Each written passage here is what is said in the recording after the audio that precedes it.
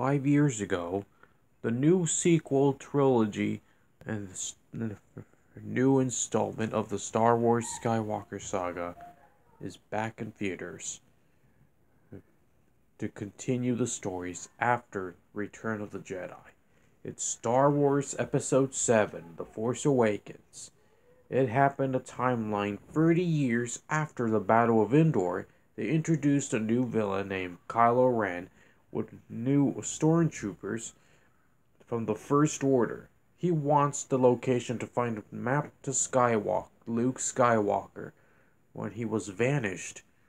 And and also they met a scavenger girl named Rey and the former stormtrooper named Finn, simply formerly FN287. And there's a res- pilot resistance uh, named Poe Dameron. And they introduced the newest Star Wars droid. His name is BB-8. He's a droid with the with the ball, the very first ball droid. And he's part of the new main character of the Star Wars Skywalker saga.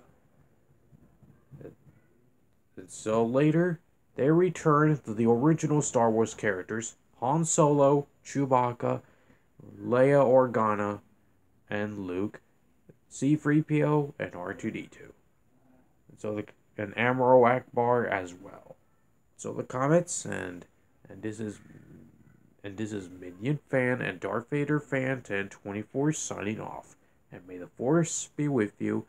And thank you for supporting Star Wars Episode 7 The Force Awakens since five years ago.